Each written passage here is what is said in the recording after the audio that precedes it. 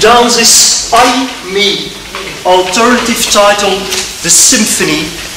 the symphony refers to the short instrumental passage that was used in the masques to enable the musicians to get in place and the term was also used for the group of musicians that would play for that short passage.